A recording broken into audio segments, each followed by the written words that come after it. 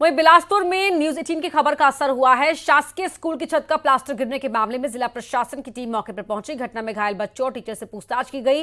घटना 29 जनवरी की बताई जा रही है। हादसे में स्कूल के बच्चे बाल बाल बच गए थे। इस खबर को प्रमुखता के साथ न्यूज़ 18 ने दिखाया। इस खबर को दिखाने का असर हुआ है और शासकीय स्कूल की छत जिसका प्लास्टर गिरने के मामले में जिला प्रशासन की टीम अब मौके पर पहुँची और घटनास्थल का मुआयना किया।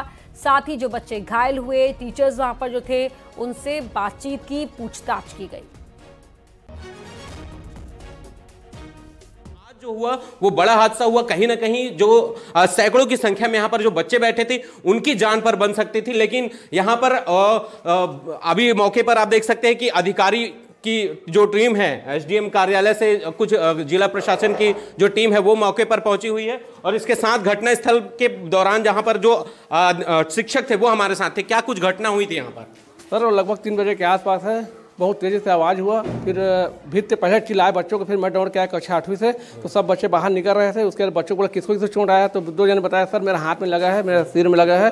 तो फिर उसको बुला करके जो प्राथमिक उपचार किए डेटाल वगैरह लगाए उसके बाद तुरंत सरपंच को और सचिव इसको उप सरपंच को सूचना दिया पालकों को सूचना दिया फिर बच्चों को तुरंत लेकर के हम लोग हॉस्पिटल गए और हॉस्पिटल जाते जाते साथ में बी साहब को सूचना दिए। जी जी। कितने लोगों को चोट आई है? दो दो बच्चे को। जी। आ, ये क्यों ऐसी स्थिति निर्मित हुई?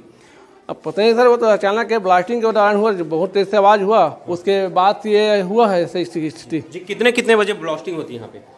अब वो तो सर कोई निश्चित समय नहीं रहता परंतु जो अधिकांश जो होता है दोपहर में ही ज़्यादा हो जाता है कभी बारह बजे आवाज़ सुनाई देता है कभी उस दिन तीन बजे हो सर बहुत भयानक आवाज़ था उस दिन का आवाज़। तो कैसे स्थिति होती है यहाँ पे? सर एकदम आवाज़ आता है ऐसा लगता है जैसे ऊपर कंपन हो रहा है ऐसा जैसे गिर ना जाए ऊपर में ऐसे करके। देखिए ये ये वो बच्ची है जिसके हाथ में चोट लगी आप देखिए। ये ये जो जगह है उसके जो प्लास्टर है वो उसके ऊपर गिरा था।